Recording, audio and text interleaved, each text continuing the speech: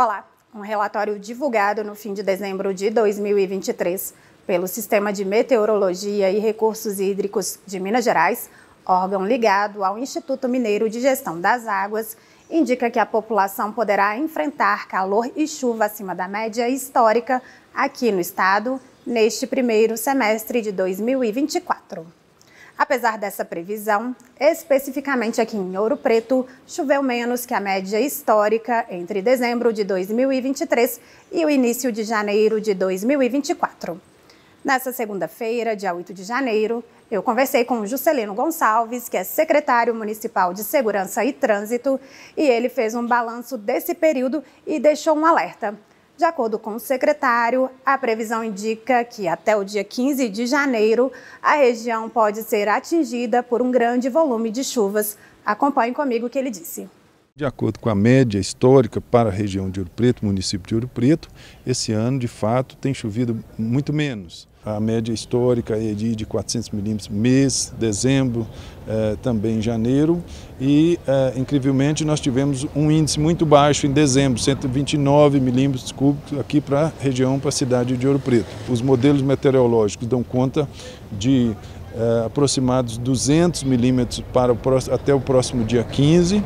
Isso deixa a Defesa Civil em alerta aqui. Nós estamos preparados e organizados é, com o plano de contingência em ação, em conjunto com as forças de segurança, Polícia Militar, Corpo de Bombeiro, Guarda Civil Municipal, também fiscalização e postura, de modo a dar a resposta o mais efetiva e rápida possível para a sociedade. O secretário também detalhou quais áreas atualmente exigem mais atenção das autoridades de segurança do município durante esse período chuvoso. Vamos conferir.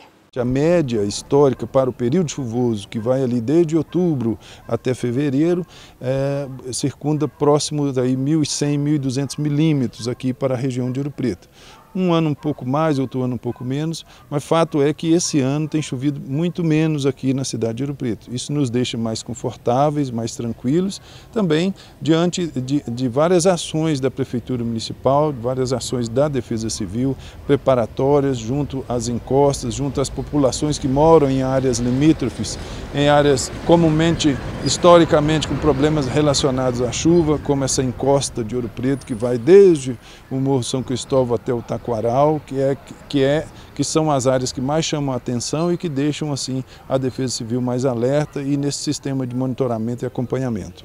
Os distritos chamam a atenção o distrito de Antônio Pereira, por conta da fragilidade mesmo, da, da, do modelo construtivo. Também a Marantina, por conta uh, do, de eventos de inundação que tivemos lá há pouco tempo. Então chama a atenção uh, o distrito de Amarantina e Santa Rita de Ouro Preto também por conta de eventos relacionados à inundação. Também Santo Antônio do Salto nos chamou a atenção.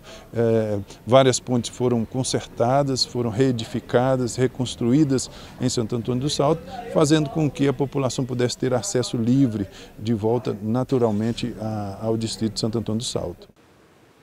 Eu ainda pedi ao Juscelino para falar especificamente da situação do bairro Taquaral, que fica aqui na sede. Acompanhe.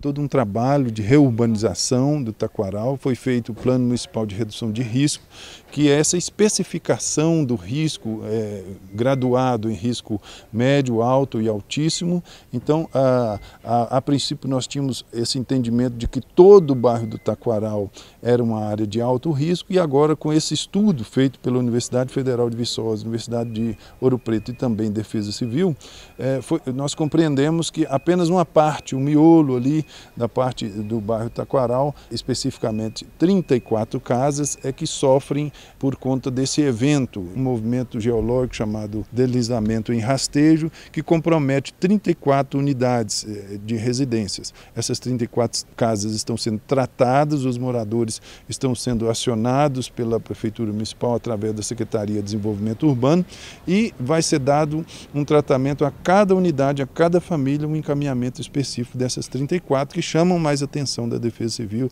e da Prefeitura Municipal.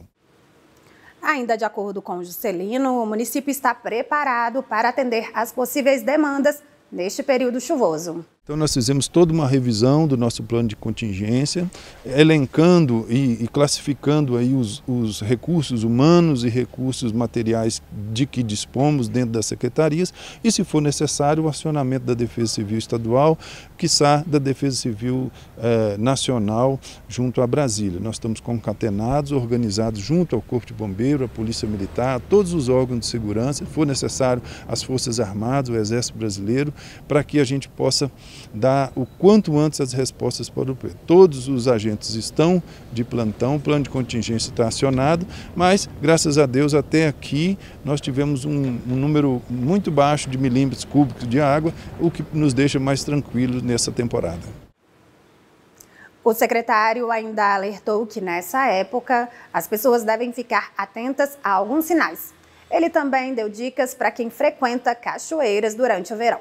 Então nós chamamos sempre a atenção nesse período em que vivemos, período de chuva, para que se observe aquele morador que mora em encostas ou mesmo aquele que mora na região de Ouro Preto que possa observar inundações, aumento repentino de água, minas de águas, aparecimento de minas ou óleos d'água, por assim dizer, que aparecem no, no, fundo da casa ou mesmo no quintal, é, observar trincas, rachaduras, observar também movimentos é, barulhos diferenciados assim na encosta ou nos quintais e acione imediatamente, é, caso tenha necessidade, sinta necessidade de retirar-se da casa, é, não, não volte para buscar documentos, saia imediatamente e acione qualquer órgão da Defesa Civil, qualquer órgão do sistema de defesa civil, do sistema de segurança, o quanto antes. Orientamos também aqueles frequentadores de cachoeiras nessa época de verão, cuidado com o fenômeno chamado cabeça d'água, que é o aumento repentino por conta da chuva que cai na cabeceira,